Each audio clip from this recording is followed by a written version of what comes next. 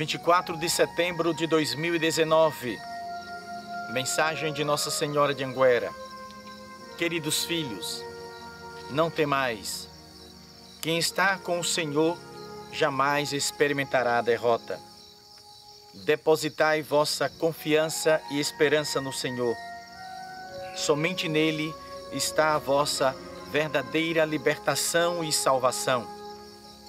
Afastai-vos do mundo e buscai as coisas do céu.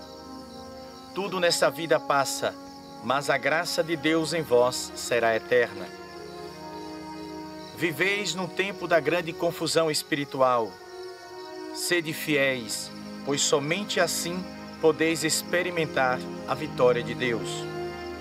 Caminhais para um futuro onde poucos permanecerão na verdade.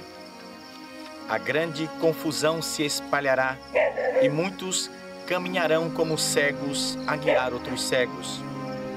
Ficai com Jesus. O veneno das falsas doutrinas contaminará muito dos meus pobres filhos. A árvore do mal crescerá. Ficai com Jesus. Ficai com a verdade. Esta é a mensagem que hoje vos transmito em nome da Santíssima Trindade. Obrigada por me terdes permitido reunir-vos aqui por mais uma vez.